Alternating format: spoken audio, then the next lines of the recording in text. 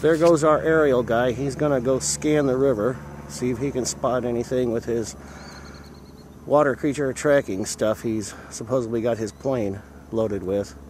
He's going to radio back to us. They're high tech out here, and we spend a lot of money on this research.